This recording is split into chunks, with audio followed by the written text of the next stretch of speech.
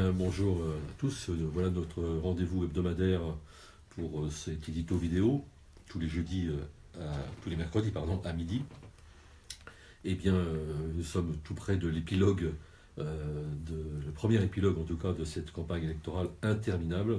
Et je pense que, comme moi, vous avez une certaine lassitude, lassitude en particulier de la couverture médiatique. On, est absolument submergé de talk shows, de commentaires euh, creux, nécessairement creux, puisque on n'a pas d'autres indications que, les sondages.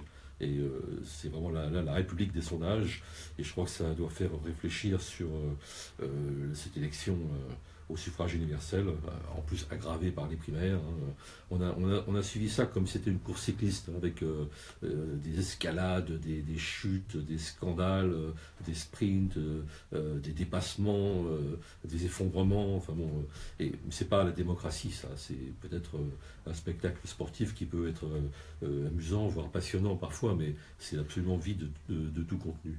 Alors moi, je, une, nouvelle fois, je plaide pour que euh, quelqu'un, quelqu'un enfin remette en cause cette élection. euh, du président de la République au suffrage universel, qui est devenu le contraire de la démocratie, avec les apparences de la démocratie. Et c'est bien ce qui euh, trompe un peu nos, concitoyens. Et de ce point de vue, je pense que le, seul qui fasse cette proposition parmi ceux qui sont donnés possiblement vainqueurs de, ce premier tour, en tout cas, et sélectionnable pour le deuxième tour, c'est Mélenchon avec euh, sa proposition de sixième République. Et ça, m'intéresse beaucoup parce que c'est en effet une refonte euh, globale, euh, profonde de, de- euh, des institutions. Alors, c'est pas sans risque, hein, parce que euh, c'est un véritable parcours du combattant qui propose avec un référendum, avec euh, cette, euh, euh, cette constituante qui doit rédiger une, nouvelle euh, constitution pendant deux ans, et puis euh, encore un autre référendum, etc. Puis pendant ce temps-là, effectivement, le risque que l'Assemblée euh, euh, qui sera élue euh, au législative au mois de juin euh, soit pas, disons, euh, très mélanchonienne.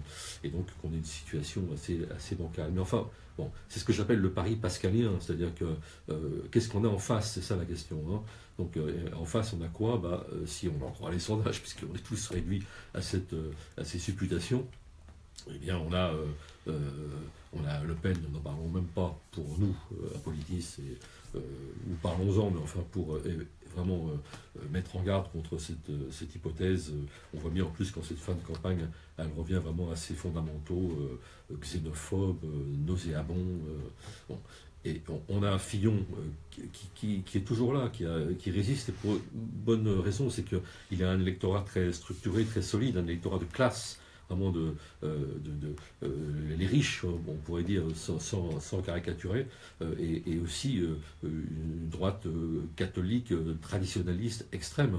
Hein. on, le voit avec, euh, là il passe un pacte électoral avec sens commun, c'est-à-dire que c'est- vraiment, euh, euh, alors il y a, y a une sorte d'héritage de la chouannerie là-dedans, enfin du, clergé réfractaire, comme on disait pendant la Révolution française, c'est vraiment la vieille réaction archaïque. hein. Et puis on a Macron qui lui est tout au contraire, finalement avec une politique qui n'est pas très différente de celle de Fillon, a un langage moderniste, apparemment jeune, etc., l'ubérisation, et qui pose une vraie question d'ailleurs à la société, qui est faut-il accepter pour euh, sortir du chômage euh, un emploi à tout prix hein. Et donc là, on a un risque de tiers-mondisation de la société, euh, c'est la loi El Khomri en fait, hein, et donc ça c'est tout à fait redoutable. Donc le, pari pascalien, c'est qu'on peut toujours dire que Mélenchon, sa constituante, ce processus assez complexe, etc., c'est risqué, mais le risque en face est incomparablement euh, supérieur. Et donc, je pense que euh, pour toute euh, femme ou homme de gauche, il n'y a, pas beaucoup d'au- d'autres choix. Alors, si, il y a un autre choix quand même,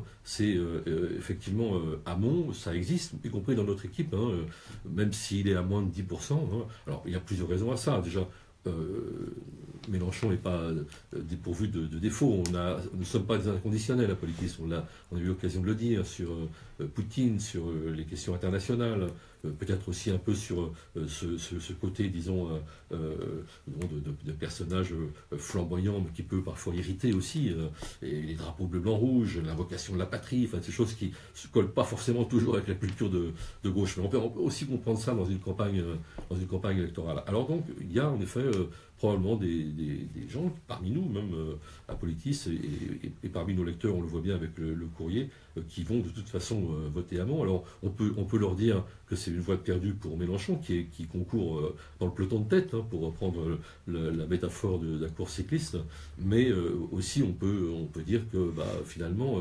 il faut qu'Amont soit là dans la recomposition euh, de, la gauche qui ne manquera pas d'advenir au, lendemain de, cette élection et au lendemain euh, des législatives. Il n'y aura pas Mélenchon tout seul, de toute façon, et donc c'est important, c'est le point de vue d'un certain nombre euh, de, gens très bien de, gauche qui, pensent, ainsi. Donc voilà, il n'y a, pas, une solution miracle, mais cela dit, le, projet de Mélenchon, le projet social, bien entendu, et, la, question institutionnelle me semble un, argument très décisif. Et on, défend ça, nous, au nom de la gauche. C'est encore une petite différence avec Mélenchon, plutôt qu'au nom du peuple.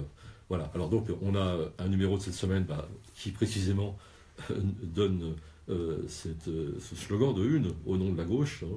On reconnaît assez facilement la silhouette de, Mélenchon qui est euh, désormais familière. Euh, et puis, bah, on va voir. Donc, on y aura probablement un nouveau rendez-vous de ce genre euh, avec vous, si vous le voulez bien, lundi matin, parce que là, l'actualité va s'emballer un peu. Euh, dimanche soir, Politis va être au travail aussi euh, sur le site politis.fr. Et puis, autrement, bah, rendez-vous la semaine prochaine, même jour, même heure, mercredi à midi. Voilà.